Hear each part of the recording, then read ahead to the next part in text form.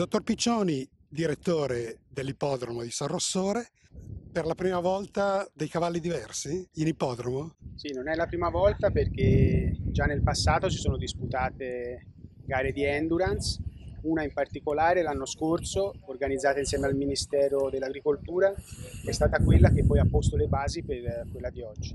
Devo dire che forse per la prima volta un evento di questa portata, insomma, ecco, 217 cavalli, 18 paesi in gara, una presenza così massiccia degli Emirati Arabi, personalità di spicco, Sheikh Mohammed, Sheikh Hamdan, insomma ecco, questo forse è la prima volta.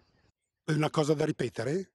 Ah, per noi assolutamente, per noi questo era l'anno zero, era come dire, un tentativo di avvicinare e favorire l'instaurarsi di rapporti con paesi che hanno ovviamente da un lato una grande capacità di spesa, dall'altro una passione enorme per il cavallo eh, a tutto tondo.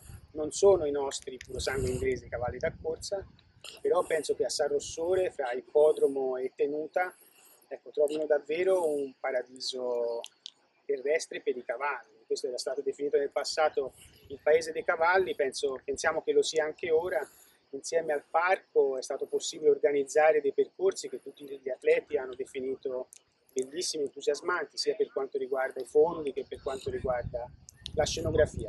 Si termina all'interno di un ippodromo che non sta a me giudicare, io sono innamorato, ma insomma io sono di parte. Se da un'indiscrezione avrete parlato sicuramente con eh, lei e il, lo sceicco Al Maktoum, mm, anche di una collaborazione futura?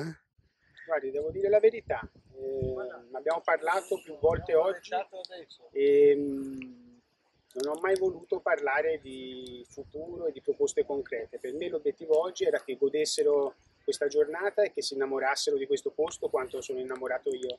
Poi sono convinto che se, se, se, riusciremo a farli star bene, a farli vedere le cose come sono in realtà, qualcosa nascerà. Le idee ovviamente da parte nostra sono molte, però non era oggi.